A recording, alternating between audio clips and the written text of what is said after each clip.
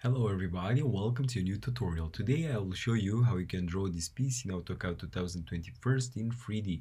So we will focus first on this section. We will start through a polyline with these dimensions 56, 16, 46, 71 until you reach this line 10 and back from the starting point. So let's get started. I will press PL from polyline make sure that you have the ortho command active. It's very important. So 56 16 46 71 10 and back from the starting point. Let's have a look again. And as you see here we need a thickness of 50 units.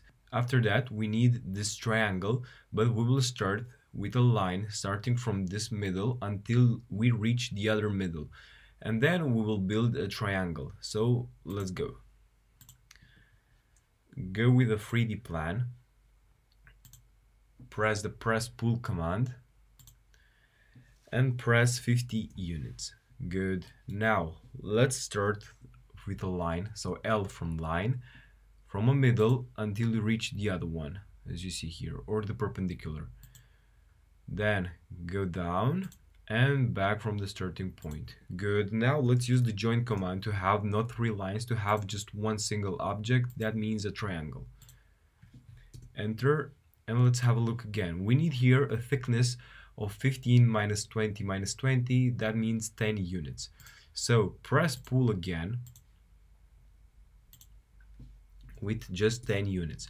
Let's move this triangle. So M from move this middle until here, the other middle. If you're not sure, you can zoom. You can delete this polyline. And let's have a short look. Shaded with edges, yes, and everything seems to be alright. Let's change again into 2D wireframe and let's look for the next step. So the next step it will be to build this part. As you see here we need a rectangle so we will apply the rectangle command with these dimensions 70 and 54.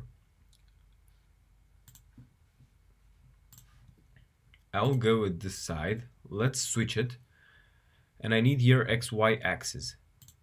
So I'll go with tools, new UCS and view. If you don't know where there are these commands, you can write here at help and everything you need you'll find for sure. And now let's use the rectangle command. Make sure you have the ortho command active. So rectangle starting from this point and the horizontal dimension it will be 70 tab the other one 54 okay now let's have a look again. We need here two circles with a radius of 19 and the other circle it will be with a diameter of 19 moreover these two circles are on a height of 19 as well. So we will construct at this point our, our two circles and then we will move them. So circle command, starting from this point, 19, because this one, it will be the one with radius 19, and again, circle,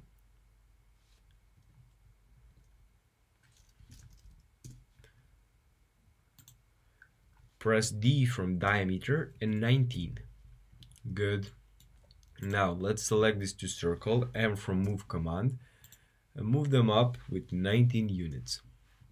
Let's build now another line, so L from this side, okay, press shift and right click and select tangent. Okay, now let's go in the 3D plan. Good, everything seems to be fine let's select now. These lines and press trim.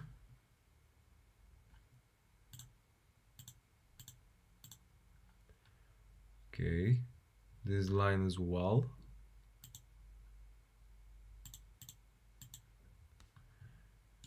Good. The next step it will be to select these lines. To have one single object and press the join command as you see here the next step, as you see here, we need a thickness of 13 units. So let's apply the press pull command. Select this corner and write 13.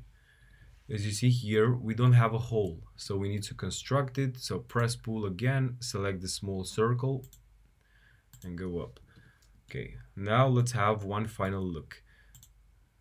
Shaded with edges, and here we are. Everything seems to be perfect.